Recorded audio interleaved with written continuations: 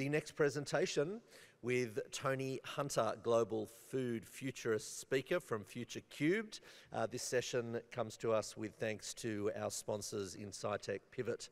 Tony is a global futurist, he's a food scientist, he is an author, a strategic foresight consultant specialising in the future of food and agriculture. He thrives on advising global food and ag companies on the technology and consumer trends shaping this rapidly changing sector. Using his distinctive combination of scientific qualifications and business experience and detailed understanding of food technologies, he's delivered a unique perspective on the future of food, which he will be doing to us shortly. I've also managed to find out that he is a huge sci fi fan, which is not surprising, I guess, for a futurist. So, with that in mind, please put your hands together. May the force be with him, Tony Hunter.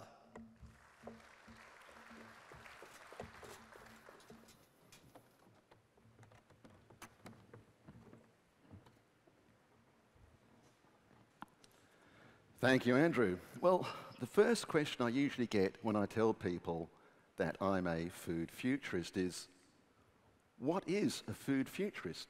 What do you do? Well, one thing I can't do is I can't predict the future. I can't get out a crystal ball and tell you exactly what the future of food will be. If I could, then this is what I would be doing. I would be on my yacht, my mega yacht in Saint Tropez, um, in the harbour there, enjoying a wonderful meal. But of course, I'd much rather be in Adelaide talking at Hort Connection. But what I can do for my clients is I can look at all the technologies and consumer trends that are coming into food and prepare what we futurists call alternative futures. That's a set of futures that could come to pass. And then what we then do is we follow the events as they happen and see which of these futures are likely to become reality. And you might then say, well, why bother exploring alternative futures? If you can't tell me the future, what use is that to me? Well, the answer to that is simple.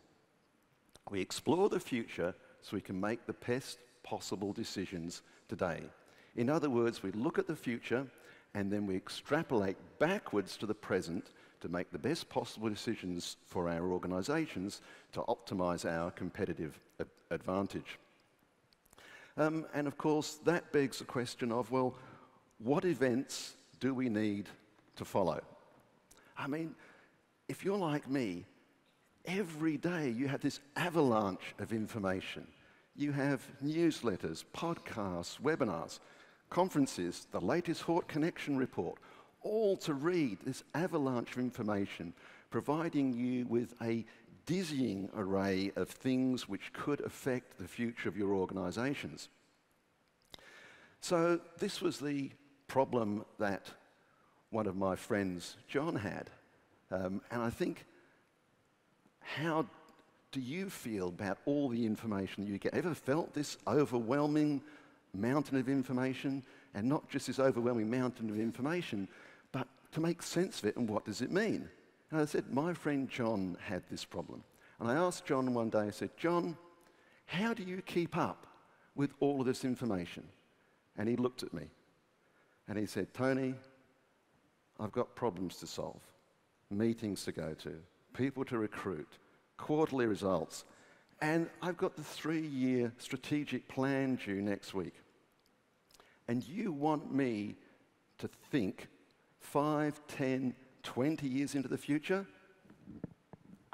Not going to happen, he said. What I said to John was, John, what you need is a roadmap, a roadmap to the future. And I think the best roadmap to the future is built upon technologies. And he said, Well, why technologies? Well, I said, you cannot talk about food from farm to fork without talking about technology. Food used to be a sleepy technological backwater compared to things like the electronics industry. But no more. Technology is now everywhere in food. And I told him, though, that it hasn't always been this way. And for me, things really started changing about six years ago in 2017. like John, like all of you, I was getting my newsletters and I'm seeing technologies that I didn't know existed. I'm seeing other technologies and trends happening way faster than I thought they could. So I dug deeper, and the deeper I dug, the more fascinated I became. And after six years of research, I've come to the conclusion that we're approaching the intersection of five exponential technologies driven by three accelerated technologies that will determine the future of food for decades to come. And that, I said to John, is why my roadmap to the future of food is built upon technologies. And his face brightened up as he said, Ah, so now I've got a way through this maze of all the information that's piling up around me. So, what are these five technologies? The first one is alternative proteins. The next one is cellular agriculture, genomics, the microbiome, and synthetic biology. And I'm sure that Max had a quick sneak look at my deck before he did his talk. So there's going to be a little bit of overlap there, but I think that just serves to, to reinforce some of the changes that are coming to the industry. And our three accelerator technologies are AI, quantum computing, and sensors, all leading to our exponential food future. And I'm sure you're all wondering, what is a exponential food future? Well, it's built upon two key concepts. The first is that food is now technology. As I've said, you can't talk about food from farm to fork without talking about technology. It is everywhere. And if there's one thing that we know about technology, is technologies advance exponentially.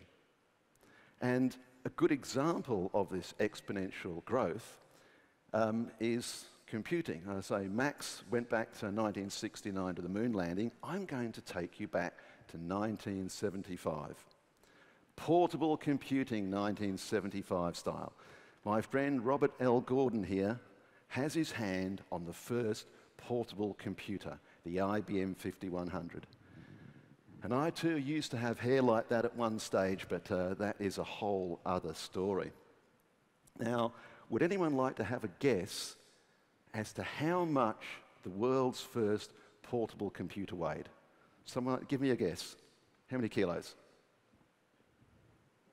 40? Any more? It weighed 23 kilograms. Do not put that on your airline tray table. It is not going to end well.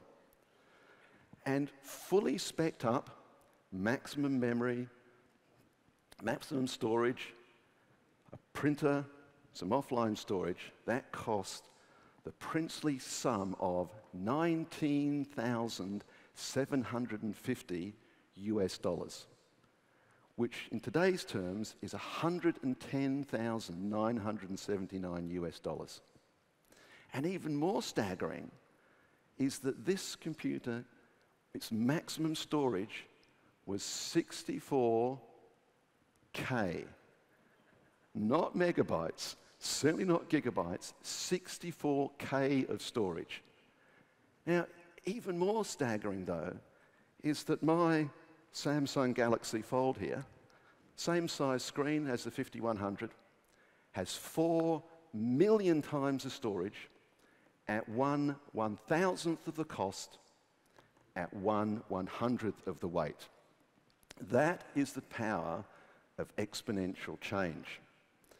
And one thing with exponential change, it's very dangerous to live linearly in an exponential world as we see with our friend here.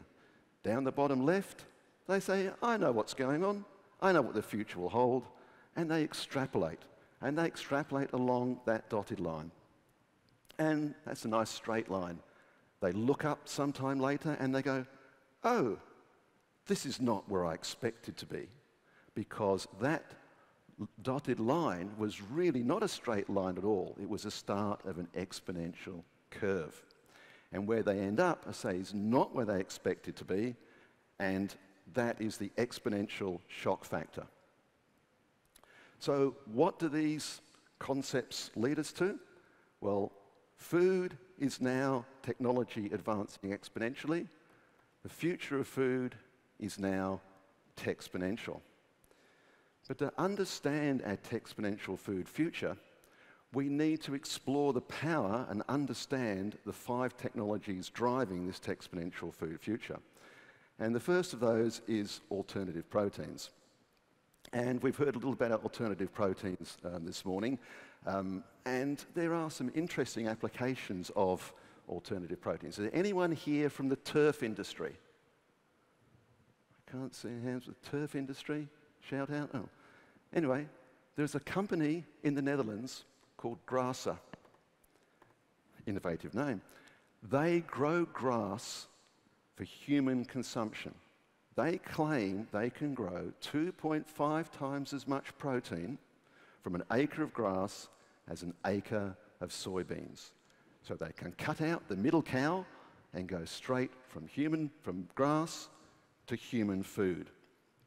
Similarly, there's a company in Australia called Leaft, and they are actually doing the same thing with other plant leaves because the protein in grass and in leaves generally is a protein called rubisco, which is part of the photosynthetic cycle.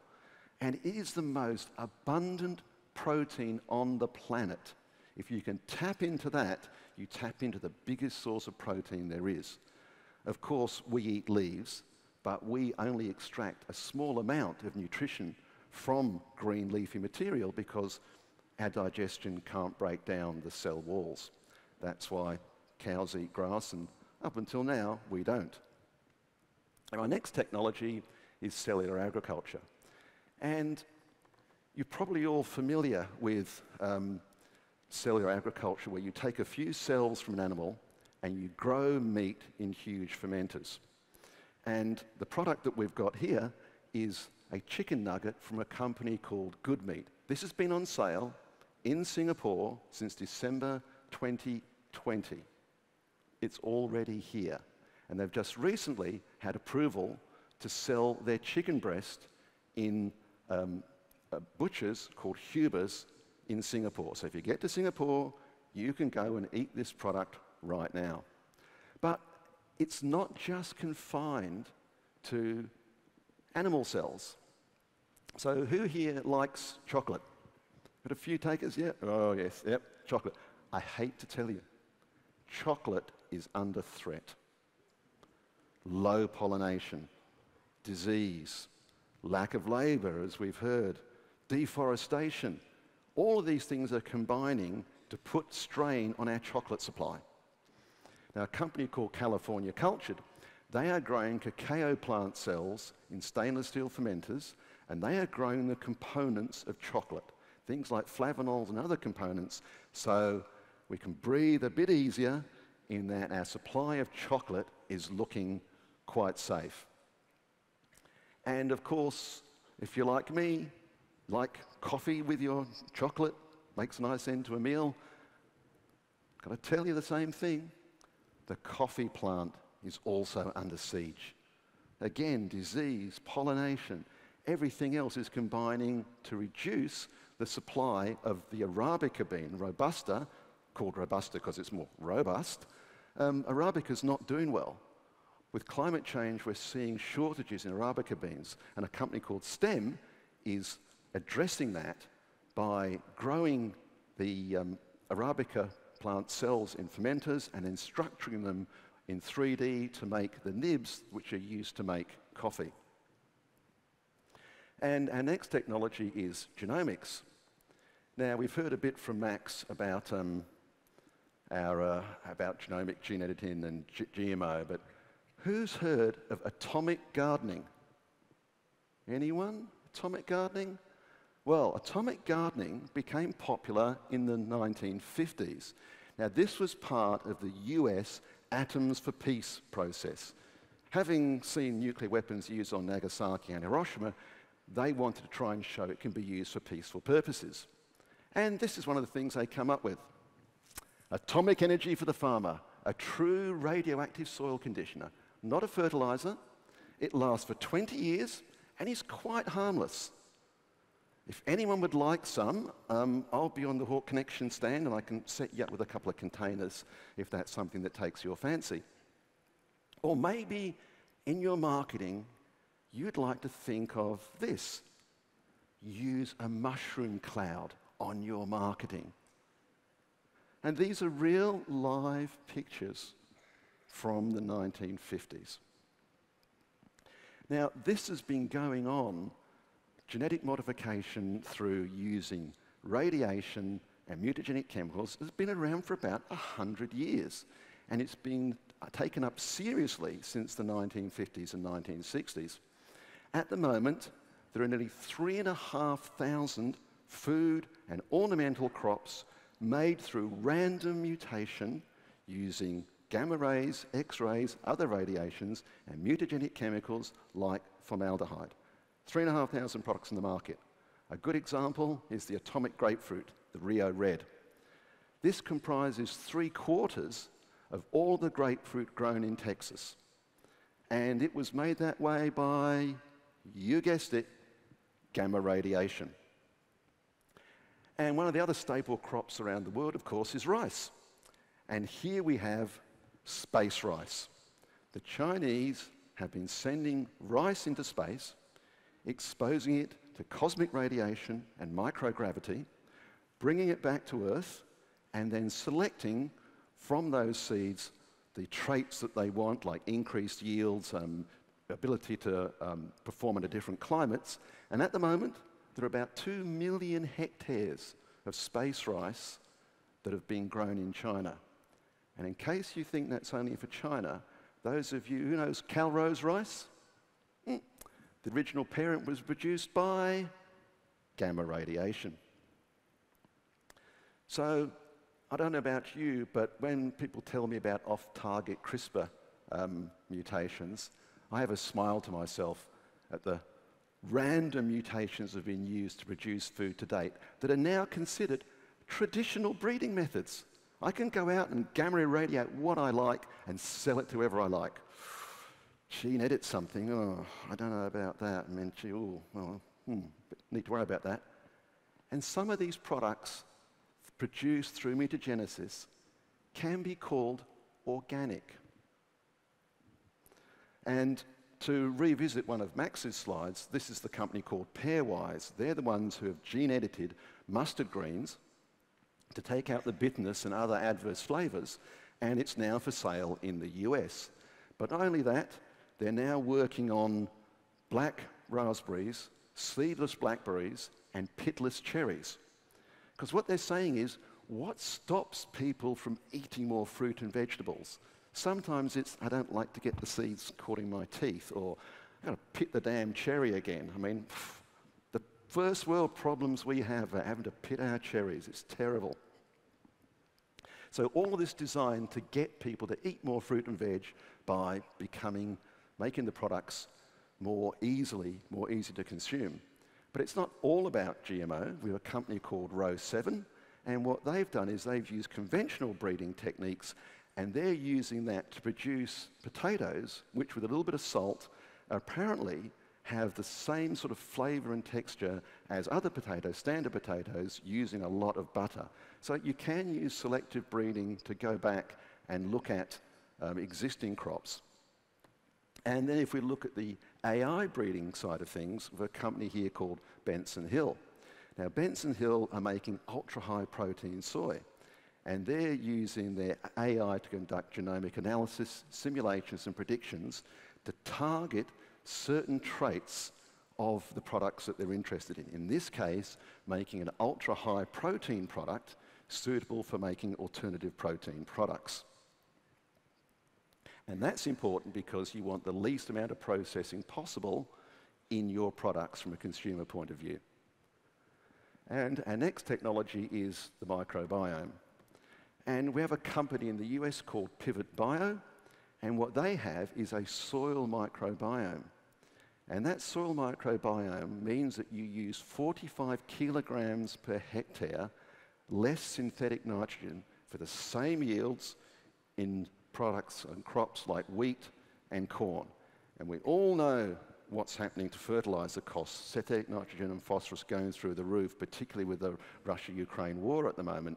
So you can imagine this company is pretty popular and they have um, successfully um, used this product on millions of hectares of land in the US and they've sold out every single year and they continue to, um, to sell out. And the next thing we, one we have is synthetic biology. And you know, a lot of people will go, oh, GMOs, and we saw some figures on GMO. And uh, I saw a, a, video once at a conference, and um, they asked a person in the street in the US, what is a GMO? Uh, genetically, um, GMO, uh, I'm not sure, I just know that GMOs are bad. It's as if you could go in and pick out the GMOs out of your food, get rid of the bad bits. So people really don't know about GMO. And one of the best examples of synthetic biology, believe it or not, is cheese. Who likes cheese? Yeah, lots of takers. Who, who doesn't like cheese? Not too many who don't like cheese. Let me tell you the story of cheese. And there's probably a little bit of a poetic license, artistic license here, but how was cheese invented? Well, the theory is one day a dairy farmer in Europe somewhere wanted to take some milk from their cow to their friend in another distant village. And they were looking around and saying, What have I got to take it there? I don't want to take a bucket backwards and forwards. What am I going to do? Oh, I know. I have a spare calf stomach lying around. So they put the milk into the calf stomach. Off they go. They go along, and it's a hot day, and it's getting a bit warm, but they see their friend. They haven't seen them in a while and they get to their friend's place and they say, I've brought you some milk, friend. And they open it up and it's gone all lumpy. But being the adventurous type, our friend, the dairy farmer, takes out the lumps, squeezes them, and tastes them and goes, You know, that's not bad. Wonder what we could do with this. And thus was born cheese. Now, originally, the fourth stomach of the two day old dead calf was what was used to make cheese. But of course, we've got a bit more refined with our technology, and we managed to extract the components called rennet from the calf stomach, and that was used for a long time to make cheese. But in the 1980s, cheese consumption was rising rapidly, and also the producers realized two things. One, there's not going to be enough dead calves around to make enough cheese. And secondly, some people were getting a little squeamish about killing two or three day old baby calves for their fourth stomach to make cheese. So our friends at Pfizer, who make the vaccines, they took the gene for chymosin, the primary enzyme in rennet that causes the curds in the whey, and they put it into a microorganism. And they make what's called fermentation produced chymosin. And that's been used to make cheese since 1990. And at the moment, in industrialized countries like Australia, US, and UK, 85 to 90% of all of the cheeses made are made using fermentation produced chymosin. So if you are eating cheese, you are eating a food made with a product of a genetically modified organism. And if you've been around long enough, you have been for 33 years. So, who is now, now I've told you this story, who is going to stop eating cheese? Put your hands up or simply shout, No more cheese for me. No one? I can add another several hundred people to my list who have never said that they are going to stop eating cheese. Why? That's because there's something in it for us as consumers. And what's in it for us is being able to enjoy a food that we really love. The problems with GMO before was that there was nothing in it for the consumer, only for Monsanto and then the farmers. The consumer went, nothing in it for me. And there's been a lot of, um, you know, bad publicity and bad scientific information on the issue of GMOs. And there is a natural GMO crop grown all around the world. And it's actually grown widely here in Australia. Would anyone like to have a wild guess of all the horticulture products as what is a naturally transgenic product? I don't blame you, I wouldn't. It's the sweet potato. Around 8,000 years ago, a bacterium called Agrobacterium inserted some of its DNA into the sweet potato. Recent research has found out of the 291 cultivars tested, every single one had agrobacterium bacterial genes in its DNA. Anyone here going to, if you're in the sweet potato industry, you're going to stop growing sweet potatoes now? Anyone going to stop eating sweet potatoes? I'm not. Sweet potato fries, my favourite fries of the whole lot. I'm not stopping eating that. If it hasn't hurt anyone for 8,000 years, I figure I'm pretty safe. So, all these things about genetically modified foods, I don't think we need to really fear that. This, this is education required, there's all sorts of things we need to do. But I can find no credible scientific evidence that genetically modified foods themselves cause any problems to humans or animals. Now, contaminants, glyphosate, pesticides, other things, yep, that's fine. And I understand some people have a philosophical objection to genetically modifying um, plants and animals. I understand that. But there is no credible information, scientific information, that says GMOs are a problem. And the biggest trial of feeding GMO to animals is the 95% of all meat and dairy animals in the US fed genetically modified crops. If there was a problem, I think the cattle industry and the dairy industry would be going, if you pardon the expression, ape shit right at this very moment. Right? As the FDA in the US says, cows do not become grass and chickens do not become corn. We cannot absorb the DNA from our food. Now, to give you a couple of examples of some uh, cutting edge technologies that are going on, we have something called plant molecular farming, or I call it growing animals in plants. Well, maybe not the entire animal, maybe just a small bit of the animal. A company here called Nobell Foods, they have inserted the gene for casein into soybeans. They grow the soybeans, extract the casein, and use that to make cheese. Now, they've raised over 100 million Oz dollars, planted their first crop last year, and we should see test products on the market this year.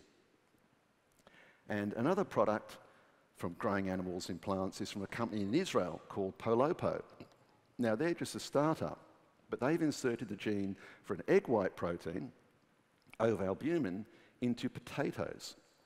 They plan to grow the potatoes, extract the egg white proteins, and then use the rest of the potato for starches and other products. And with avian influenza around at the moment, and again, the Russia Ukraine war, there's been a huge impact on egg supply. Prices of eggs in many places of the world are sky high, and big CPG companies are going, hey, my um, supply of egg white protein has been affected here. My prices are going, I can't predict my prices. So, technologies like these can be very, very important. And one maybe a bit closer to home is growing ingredients in lettuce A company called Pigmentum are growing genetically modified lettuce, and they're growing vanillin, which is the, obviously the flavor compound in your vanilla essence, and also food colourings in lettuce. And one of the big advantages of using lettuce over things like soy and so on is, of course, it grows much, much faster. So that's just some examples of how all these exponential technologies are coming into the food and ag system. But the thing is, and we've had people touch on this this morning, is what about consumers? Because it doesn't matter if you have a wonderful product, if consumers won't buy it, then you've got a big problem. And who are the consumers that you should be thinking about? Now, everybody hears about all the time about Gen Z this, or if our American friends, Gen Z, all the time. Gen Z, Gen Z, Gen Z. But if you're looking to the long term future of food, 2030 and 2040, you need to be looking to Gen Alpha. These are the people born from 2010 to 2024, immediately after Gen Z. They're the ones that will determine the long term future of food. And if we have a look at you know, their experience, I mean, these Gen Alphas and some ways Gen Z, they're not just digital natives, they are technology natives. They've grown up with Spot the Boston Dynamics dancing robot, mRNA vaccines, smartphones, streaming internet, private corporations shooting rockets into space, and probably in their lifetime, a colony on Mars. They haven't known any other reality but technology. And if we look to try and predict what their attitudes will be to using technology in food, it is difficult because obviously most of them are children. And quite rightly, doing a lot of market research on children is, is frowned upon. But if we have a look at some of the recent studies done on Gen Z and previous generations, 78% of Gen Z have said that they would be comfortable with trying products, food products made with technology. Gen Y, that drops to 67%. Boomers and um, Gen X are tied at 58%. So if we extrapolate that, it's highly likely that Gen Alpha will be very accepting of technology being used to make their food. And looking ahead at what will these consumers want. And as Max pointed out in his previous presentation, functional foods more than simply tasty fuel.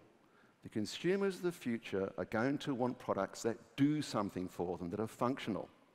So, in other words, if I have a big meeting with a client tomorrow and I want to be top of my game, I want to be on the ball, I want to get that contract or that speaking gig, and I'm having breakfast, I want my breakfast in the future to help me do that.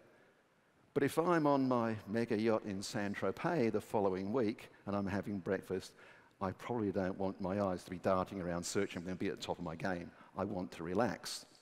Now, the point of that is that we've always looked at products by their day part. In other words, are they breakfast, lunch, dinner, or snacks? But I think that way of thinking is outmoded. People also want their events taken into account. What do I want this food to do for me, and what function will it perform for me? And in the future, that's going to become more and more important. And just a couple of examples here. Well, this is one that work that's been done on cranberries by a company called Brightseed using their Forager AI. And there's 156 bioactives known in the literature. Forager has already found 637 bioactives in cranberries alone. And then we have the cashew apple. Now, not a lot of cashews grown in Australia, but for every kilo of cashews, you have five kilos of the cashew apple. And that's generally either disposed of or used for animal feed. And people say that, oh, yes, the reason that we feed this to animals is animals can upcycle human inedible food. I say there's no such thing as human inedible food. There's only products that haven't been yet processed to make them edible for humans. And I think that you know, these products and their ability to be upcycled is going to be increasingly important as we address food waste and getting enough food to feed the planet. And work done on the cashew apple has shown it's got amazing nutritional benefits. It can improve the taste and texture of products, particularly alternative protein products. Now, you might look at me and say, hey, Tony, you know, this is a bit far fetched. But all of these technologies I've shown you, they are science fact, not science fiction. Yes, some of them are here now, and some of them may take years, some of them may take decades to come to commercialization, but they're all here right now. And when you say that it's far fetched, remember our friend here. Remember, four million times the storage, one one thousandth of the cost at one one hundredth of the weight, and all in under 50 years. Similarly, all of the technologies we need to make our tech exponential food future come to reality are already here. And while you're thinking things again are far fetched, remember, today's reality was yesterday's science fiction.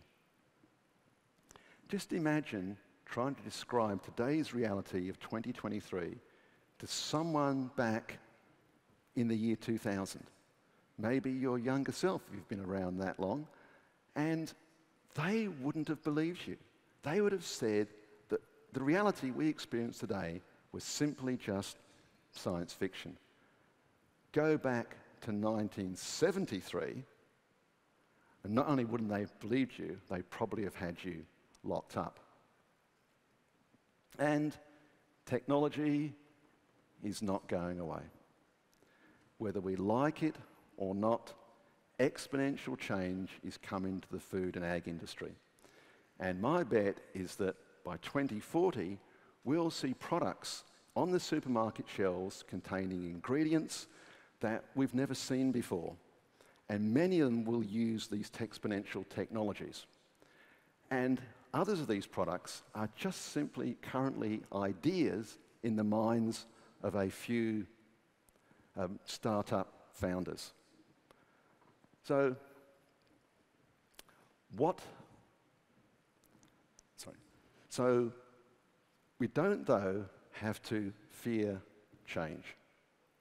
If we adopt a exponential mindset, it provides us with the means and an understanding to be able to look at the exponential food future and navigate our way through the maze. It provides us with a roadmap.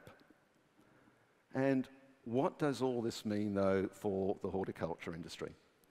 Well, as I say, all of these technologies I've shown you today are already here. And combined with consumer trends, they offer enormous opportunities to sell more than just a simple crop or a piece of fruit or a piece of food. Now, let's not forget, some of the medicines and drugs that we take for granted today came originally from plants. Aspirin was originally found in the bark of the willow tree. Metformin, which is a frontline drug for treating type 2 diabetes, and also potentially a longevity drug, was originally found in the French lilac. There's an enormous amount of potential beneficial products in the plant kingdom, and we're barely just scratching the surface of what we can find. And the other thing is, these technologies and consumer trends, they show us that it's dangerous to think linearly in an exponential world. And if we just take the simple linear approach in horticulture of concentrating on increasing yields, more marketing, doing the same old, same old, this is not the key to the long term future of horticulture. So, what we need to do is we need to look at how we can bring these technologies to bear and challenge ourselves to actually look at how horticulture can be at the forefront of all of these changes and how you can use these technologies to reap the benefits, the maximum benefits of all these exponential change in technologies. Welcome to our Horticulture's Exponential Future 2040. Thank you.